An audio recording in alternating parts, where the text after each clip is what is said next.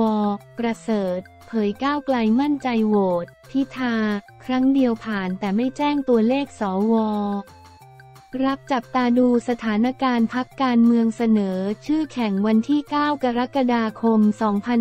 2566 นายประเสริฐจันทรรวงทองสอสอบัญชีรายชื่อ และเลขาธิการพักเพื่อไทย พอทกล่าวกรณีนายชัยธวัฒน์ตุลาธนสสบัญชีรายชื่อ และเลขาธิการพักก้าวไกล กิโลกรัม นัดหารือ 8 พักร่วมรัฐบาลเพื่อเตรียมความพร้อมเกี่ยวกับการโหวตนายกรัฐมนตรี ว่ามีการนัดประชุม 8 พักร่วมรัฐบาลในวันที่ 11 กรกฎาคมเวลา 9 นาฬิกา 30 นาทีที่รัฐสภาโดยมีวาระที่จะคุยกันคือเรื่องการโหวตนายกรัฐมนตรี การสรุปสถานการณ์ทางการเมืองเข้าใจว่าไม่มีการพูดคุยกันถึงกรณีที่หากไม่สามารถโหวตนายพิธาลิ้มเจริญรัตหัวหน้าและแคนดิเดต นายกรัฐมนตรีพักก้าวไกล กิโลกรัมได้ในครั้งแรกนั้นจะโหวตอีกกี่ครั้ง เนื่องจากทางพักกกมั่นใจว่าเขาโหวตครั้งเดียวผ่าน ทั้งนี้ยืนยันว่าพักร่วมทั้ง 8 พักเราจะเสนอชื่อนายพิธาเพียงชื่อเดียว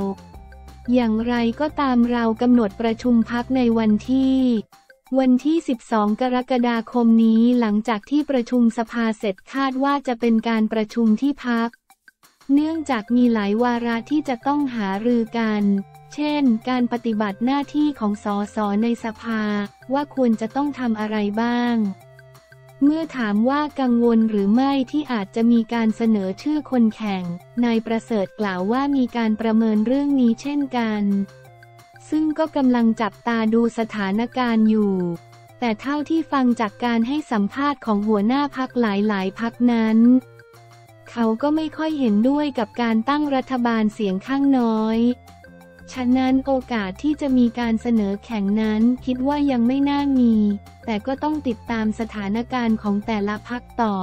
คาดว่าแต่ละพักอาจจะมีการประชุมในวันที่ 11 กรกฎาคมนี้ เมื่อถามว่าเบื้องต้นทางพักกกได้แจ้งมาหรือไม่ว่าขณะนี้มีเสียงสวที่จะสนับสนุนนายพิธากี่เสียง นายประเสริฐกล่าวว่าไม่ได้แจ้ง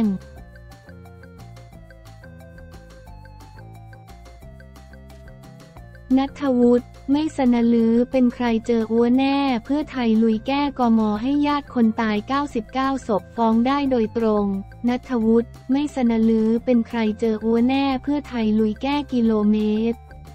ให้สิทธิญาติคนตายเหยื่อสลายชุมนุม 99 ศพฟ้องผู้ดำรงตำแหน่งทางการเมืองได้โดยตรง หลังนายทาริศเพ่งดิต อดีตอธิบดี DSI ออกมาเปิดเผยเบื้องหลังสลายการชุมนุม กลุ่มคนเสื้อแดง นปช เมื่อปี 2553 จนมีผู้เสียชีวิตเป็นจำนวนมาก ตอนหนึ่งนายทาริศระบุว่าถูกเรียกตัวไปในค่ายทหารแห่งหนึ่งในถนนราชดำเนิน เป็นนายทหารยศสูงซึ่งไม่ขอเอ่ยชื่อ บอกว่าทาริศอย่าดำเนินคดี 99 ศพ ถ้าไม่ฟังการพวกวัวปฏิวัติแล้วลือจะโดนย้ายคนแรก ตนถือว่านี่คือคำขู่ดังนั้นเมื่อปฏิวัติไม่ถึง 24 ชั่วโมงก็ถูกย้ายจริง ๆ ทาริศน้ำตาคลอเปิดเบื้องหลังสลายชุมนุมปี 53 คดี 99 ศพแฉทหารยศสูงมีเอี่ยว ล่าสุดนายนัทวุฒิสายเกลือผู้อำนวยการครอบครัวเพื่อไทยอดีตเลขาธิการนปช และแกนนำคนเสื้อแดงโพสต์ข้อความผ่านทางเฟซบุ๊กนายนัทวุฒิสายเกื้อถึงประเด็นดังกล่าวระบุว่า อย่าดำเนินคดี 99 ศพ ถ้าไม่ฟังกันพวกวัวปฏิวัติแล้วลือจะโดนย้ายคนแรก ทาริศเพงดิตแถลงเล่าเหตุการณ์ก่อนยึดอำนาจวันที่ 22 พฤษภาคม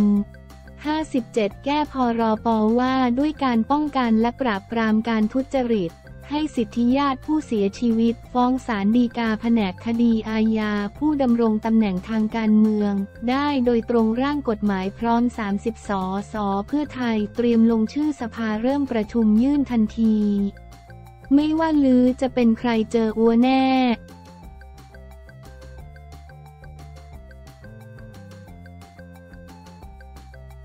ด้อมส้มรอรับแน่น พิธา ปราศัยเวทีสุพรรณบุรี ขออสวโหวตนายกรัฐมนตรีคืนความปกติด้อมส้มรอรับแน่น พิธา ปราศัยเวทีสุพรรณบุรี ขออสวโหวตนายกรัฐมนตรี เพื่อหลักการคืนความปกติให้ระบบการเมืองไทย วันที่ 9 กรกฎาคม 66นายพิธาลิ้มเจริญรัตหัวหน้าพักก้าวไกลเดินทางมา สุพรรณบุรีก่อนขึ้นเวทีปราศัยขอบคุณประชาชนที่โรงเรียนอนุบาลวัดป่าเลไลเพื่อย้ำจุดยืนพร้อมเป็นนายกรัฐมนตรีของประชาชนทุกคน พิธากล่าวว่า แม้พักก้าวไกลจะไม่ได้สอสอ ในสุพรรณบุรี แต่ขอขอบคุณชาวสุพรรณบุรีที่เลือกพักก้าวไกลแบบบัญชีรายชื่อเป็นที่หนึ่งของจังหวัด ยืนยันตนพร้อมเป็นนายกรัฐมนตรีของคนสุพรรณบุรีและคนไทยทั้งประเทศ การกลับมาสุพรรณบุรีในวันนี้ มาในฐานะหัวหน้าพักจัดตั้งรัฐบาล สัญญาว่าเมื่อจัดตั้งรัฐบาลสำเร็จ พร้อมนำทั้ง 8 พักแก้ไขปัญหาให้พี่น้องประชาชนทันที เราอยู่ในระบบที่ไม่ปกติมาเป็นสิบปี ทั้งการทำรัฐประหารนิติสงครามการยุบพัก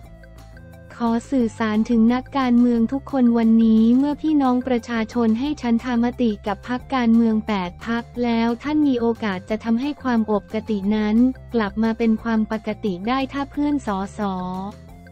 ทุกคนบอกว่าพอกันทีกับความอปกติ ท่านไม่ต้องเลือกพิธาแต่ท่านต้องเลือกรัฐบาลที่มาจากพี่น้องประชาชนใช่หรือไม่ พิธากล่าวหัวหน้าพักก้าวไกลกล่าวต่อว่า สวหลายคนบอกว่าอยากโหวตเพื่อหลักการ อยากจะโหวตให้รัฐบาลเสียงข้างมากที่มาจากประชาชน เพราะฉะนั้นเราต้องให้กำลังใจกับสวที่มีความกล้าหาญที่ออกมาแสดงว่าประชาชนเลือกอย่างไรสว ก็เลือกอย่างนั้นไม่ต้องคิดว่าให้โอกาสพิธาแต่ให้โอกาสประเทศไทย เปลี่ยนความผิดปกตินี้ให้กลับมาเป็นความปกติพร้อมกันนี้พิธายังกล่าวแสดงความเคารพต่อสอวอที่ยืนอยู่ข้างอนาคตและความถูกต้อง ขอให้ช่วยกันแก้ไขปัญหาให้ประชาชน อีกสี่วันที่จะถึงการตัดสินใจในวันที่ 13 กรกฎาคมนี้จะบอกว่า 10-20 ปีข้างหน้าของประเทศไทยจะเป็นอย่างไร ขอให้ทุกท่านที่รู้จัก สสสุพรรณบุรี สวสุพรรณบุรี ช่วยกันพูดกับเขาอย่างมีวุฒิภาวะ ว่าการเลือกครั้งนี้ไม่ใช่การเลือกพิธาไม่ใช่การเลือกพักก้าวไกล แต่คือการเลือกระบอบประชาธิปไตย พิธากล่าว